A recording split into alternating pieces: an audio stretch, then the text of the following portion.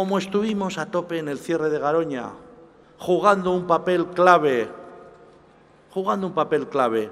Nunca lo hemos contado. Nunca lo hemos contado.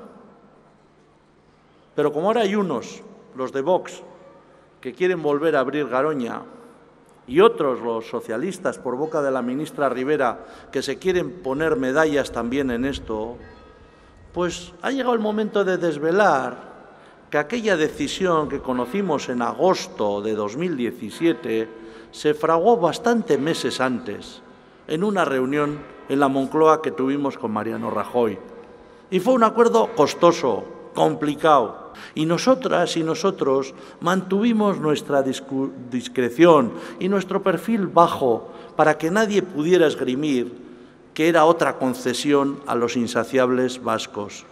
Pero ese mensaje llegó a este teléfono, a que ningún otro dirigente político de Euskadi o de fuera de Euskadi puede decir lo mismo. No, llegó aquí, llegó aquí, porque el PNV estuvo de lleno en el cierre de Garoña. Estuvo de lleno. Y lo contamos seis años después. Y no nos queremos arrogar nada, de verdad. No nos queremos arrogar nada. Fue una lucha social y popular a la que teníamos que hacer caso e hicimos caso. Y además las instituciones alavesas nos dijeron que había que hacerlo. Y así lo hicimos. Modelo PNV, conseguir en Madrid lo que se quiere aquí en Euskadi.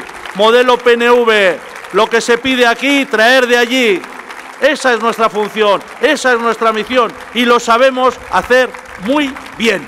Lo sabemos hacer muy bien, lo hemos demostrado.